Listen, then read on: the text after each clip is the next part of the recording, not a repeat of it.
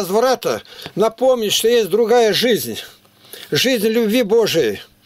Что Иисус умер за грехи людей и воскрес в третий день. Это главная радостная весть. И, вы, и выход Аминь. всегда есть прийти с покаянием к Богу и знать, для чего ты живешь. Жизнь человека не заканчивается этой жизнью. На той стороне, потусторонний мир называется, верующий в Сына Божия имеет жизнь вечную, а неверующий не увидит жизни, но гнев Божий пребывает на нем. Вот так.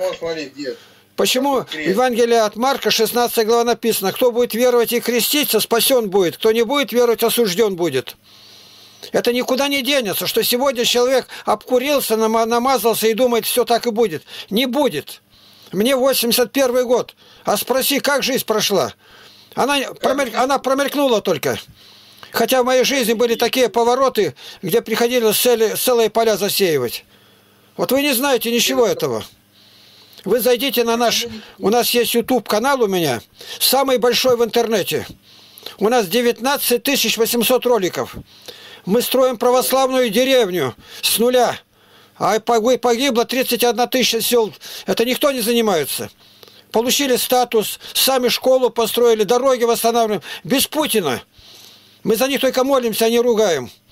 Вот я начальник детского...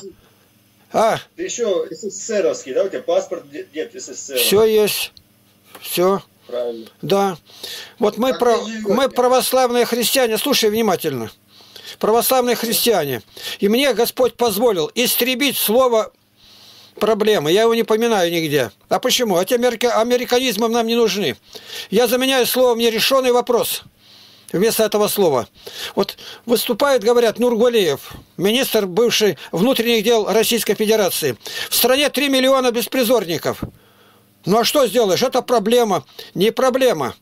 Мне Господь позволил организовать детский православный лагерь и 48 лет без помощи государства вести. Тысячи детей поднять. Ни одного у нас развода, ни одного аборта. Хотя за перестройку в стране 120 миллионов абортов. Это трагедия страны. Во Вторую мировую войну во всем мире погибло 55 миллионов. А здесь в утробе женщины, ее в вагине, погибло 120 миллионов. И молчат. Проблема? Никакая не проблема. Решать вопрос надо. Как? Воспитывать детей. У нас нет ни одного развода, ни одного аборта. А в стране разводов 86,5%. А когда жена Ленина, Крупская, говорила, 17% это национальная трагедия. У нас больше миллиона убывает каждый год.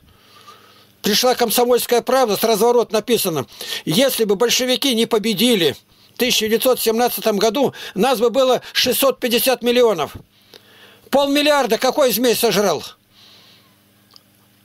Не то, что вот наелся, а теперь чужих баб ловлю здесь зловоние. Мужики половина голые в рулетке.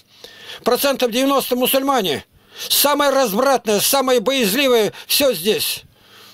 Первые, армя... Первые христиане в мире здесь. Где? Первые в мире христиане-евреи. Потом приняли от них греки. Греки. А в четвертом веке от Григория, Григория-Армянская апостоличная церковь. Вы не путайте. А Россия только в десятом. Первые приняли евреи, апостолы евреи. А в эту сторону, к нам, к северу, первые армяне приняли. Потом грузины. В 301 году. Да. А Россия только через 700 лет. Да. Ну и вот, вот тут, да. мы говорим о том, что церковь – это не секта. Мы, ко мне зашел тут американец как-то и говорит, в Америке 21 тысяча разных наименований, деноминаций, конфессий. Я говорю, нет таких слов. Есть слово вера и ересь. Под словом разные деноминации конфессии скрыт слово ересь. Это еретики. Согласен. Дедушка, а вы здесь что делаете? Пропагандируете? Слово пропагандирую касается тех, которые в Бога не верят. А у верующих определенно повеление от Бога. Он говорит, идите по всему миру и проповедуйте Евангелие всей твари. Кто будет веровать и креститься, спасен будет. Кто не будет веровать, осужден будет. Я вот проповедник, миссионер, 50, уже 8 лет как Евангелие в руки мне дали. И прошлые годы, когда ничего нигде не было, проблемы с необразованностью, я этого не знаю. Господь позволил мне написать 38 томов книг, преподавать одновременно в пяти университетах. И вы зайдите на наш YouTube-канал «Во свете Библии» Игнатий Лапкин. Вы найдете «Во свете Библии» Игнатий Лапкин. Это я. А вы где живете, дедушка? Живем мы в город Барнаул, Алтайский край, Лапкин Игнатий Тихонович. Мне 81 год.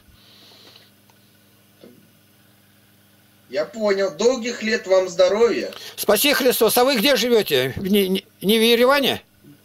Нет, город Ставрополь. Ставрополь есть там. Мне Господь позволил услышать голос Божий. И вышедшие у меня книги, 38 томов, а они вместе стоят 750 евро. Мы подарили в 750 библиотек, 650 библиотек мира. Дошли до Владивостока, оттуда Лиссабона, Скандинавия, Прибалтика. И в Ереване были, там мои все книги есть. И в Ставрополе есть. Ставрополе. Вы можете зайти в национальную библиотеку и спросить. А почему? Никаких проблем. Слово Божие. И когда я издал первый в мире, первый в стране издал архипелаг ГУЛАГ, брал интервью репрессированных, мне пришлось пройти пять тюрем и лагерь за Слово Божие. И поэтому, думаешь, проблема с преступностью, надо идти работать. Я пошел помогать. Мы работаем, дедушка. А? Мы же работаем в полиции так. Ну а что не буду? Жить-то живем в этой стране, нам по неволе надо думать. Давайте каждый что-то делать. И обстановка изменится. Путин нам не будет дороги восстанавливать. Мы должны сами работать до седьмого пота. А он будет деньги зарабатывать. Об нем не надо судить. Нам дано повеление молиться о правителях. И мы это делаем за всех. Вот я говорю, в Российской Федерации есть один руководитель одного региона, который запретил законодательно делать аборты. Кто это такой? Кадыров. Абсолютно правильно. Рамзан Ахматович Кадыров. Это он не, не по звездочке, который на груди герой, он внутренний герой. Недавно открыл целый комплекс православной церкви священнослужителем на берегу озера или где. Перерезает ленточку. У меня от него благодарность есть, я ему все книги подарил. Молодец. Молодец, Рамзан. Надо молиться, и у нас будут друзей много. А не так, тот враг, другой враг, а я вроде все, ничего не делаю, лежу, сплю. Девушка, вы сейчас заметили, как сейчас очень э, стали другую изменять вере? Заметили, дедушка? Что заменять? Принимать, Замещать. Применять мусульманство стали принимать очень много людей, заметили? Я 48 Происходит... лет начальник детского лагеря. 48. Без помощи государства. Ни рубля не дали. У нас главный лозунг. Россия должна встать. Россия – это мы. А что замечать? Я поэтому знаю подрастающее поколение, а ведя занятия среди университетов, я вижу подрастающих уже студентов. Бога нет, все позволено. Все как в братьях Карамазовых. Как в братьях Кар... А? Молодежь атеисты сейчас. Ну как, это, это истина Господня. Мы должны Бога слушать, молиться. Я спрашиваю мусульман, что у вас самое главное? Они не могут ответить. Я говорю, пятикратный намаз, а у нас девятикратный. И, и после каждой сто поклонов. И тогда дурь в башку-то не лезет. Ты будешь видеть нуждающихся в твоей помощи. Понял. Хорошо, дедушка, доброй ночи. Так, если, хочу, ребята, хочу сказать вам, если вы пожелаете встретиться, то в скайпе, Игнатий Лапкин, два слова зарядите, вы на меня выйдете. Все, договорились. С Богом. Спасибо. Да, с Богом. Вы верующие? Нет, какого ты города? У вас такая книга дома есть? Да, да, да, да. А вы можете показать ее? Но я на работе. А, на работе? Она нам отвечает да, на главный вопрос нашей жизни. Для чего мы родились в этот свет? Да. А ты с какого города, дед? Не из какого, а в каком, наверное, знать. Если откуда, так это другой город назову. Это город Барнаул, ну, Алтайский край, Лапкин Игнатий Тихонович. Мне 81 год.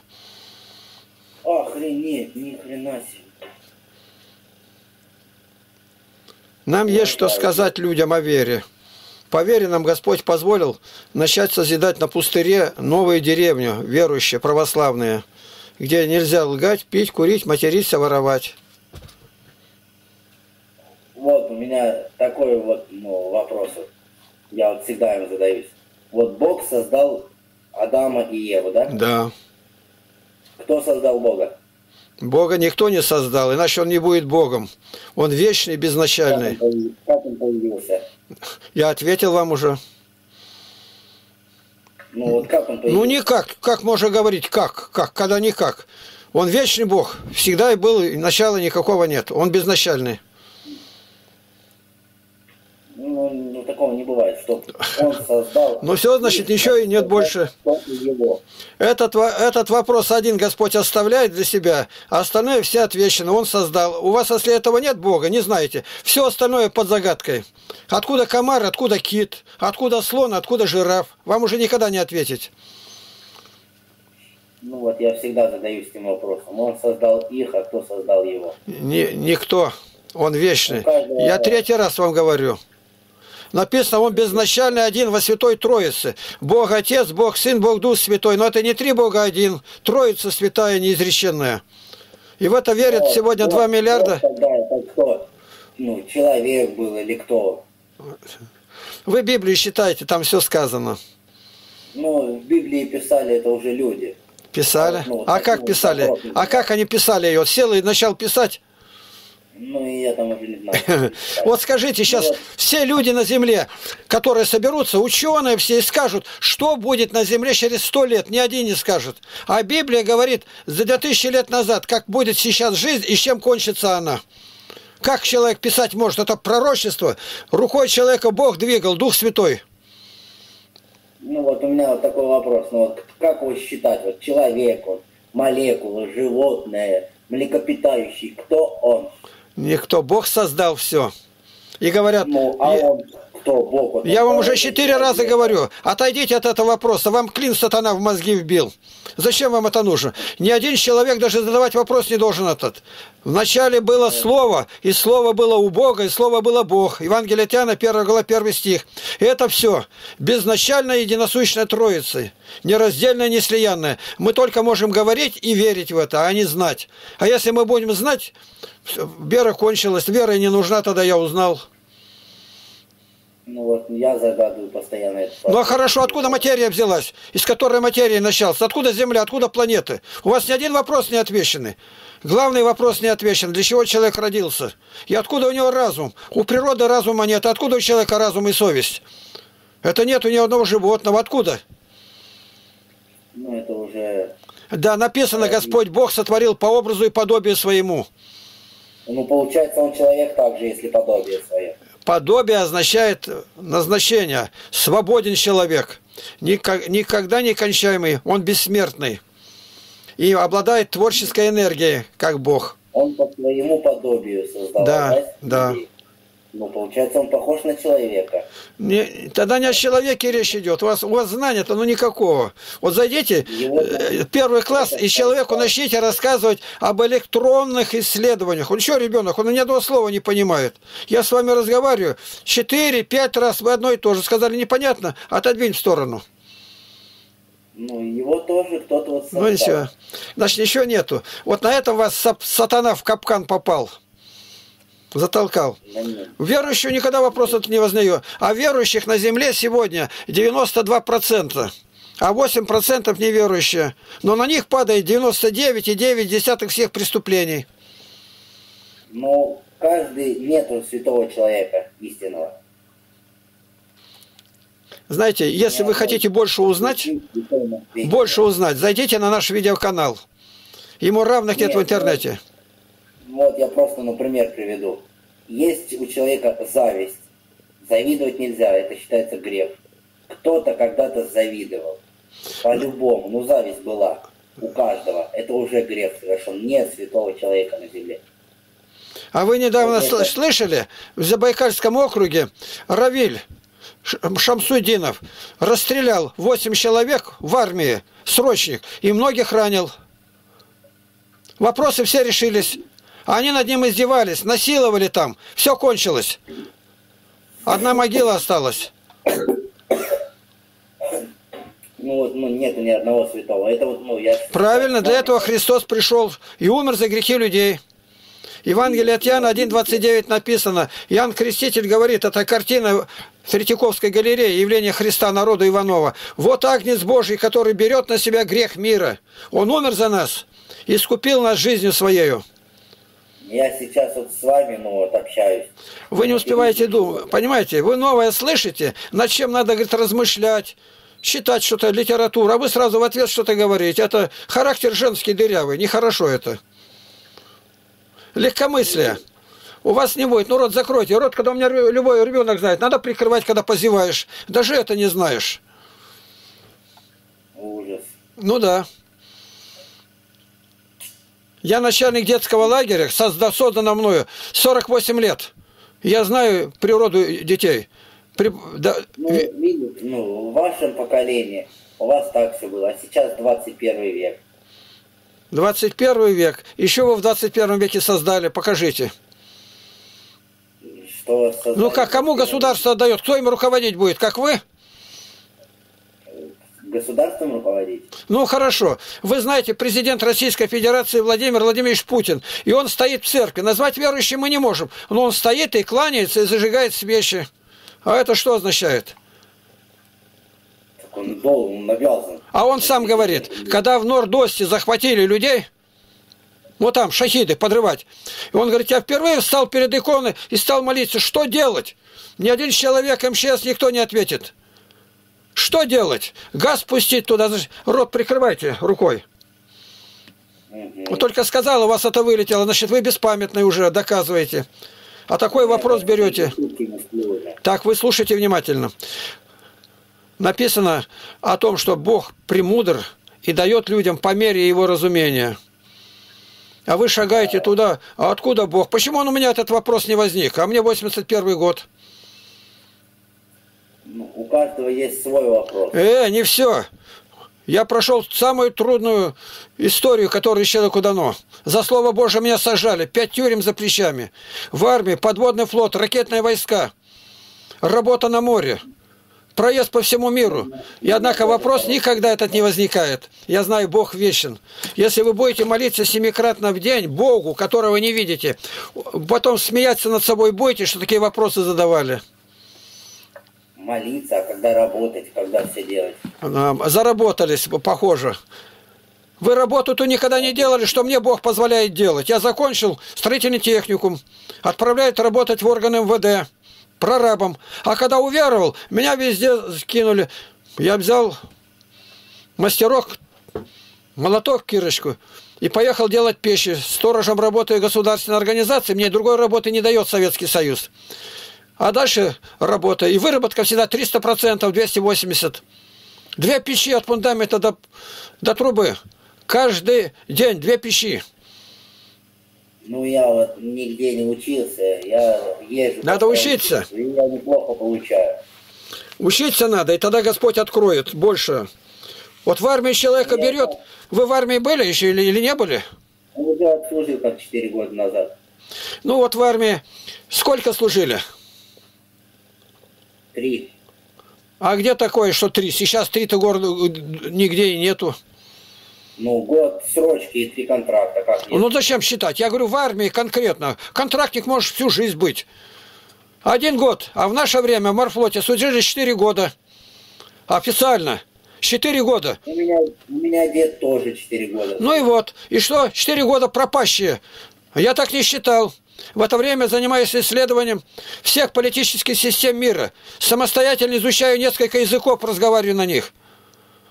Ну, видите, сейчас 21 век, все по-другому. Век дураков, что ли? И сегодня есть умные люди. Век 21 ну, видите, Раньше, вот, ну, там, чтобы с девушкой... Ну, хорошо, свадьбы, хорошо. Вы такую книгу читали когда? Нет. Вы ее в глаза не видали, не держали? А, а в эту книгу верят 2 миллиарда людей. А в Библию 2 миллиарда 200 миллионов. И вы умнее всех. Ну, я же говорю, сейчас 21 век. Ну понятно, все пока. На этом отходим. До свидания.